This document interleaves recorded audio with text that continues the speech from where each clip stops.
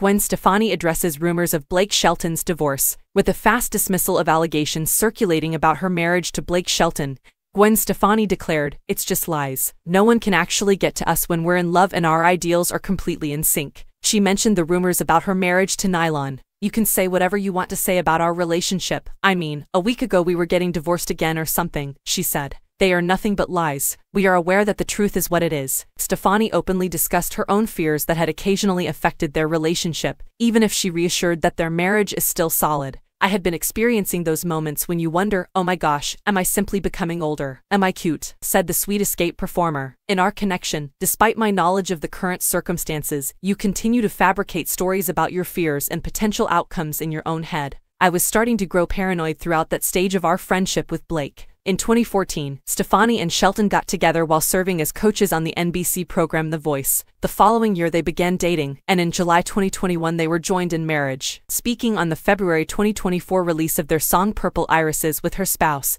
she said that it was written as a reminder to leave.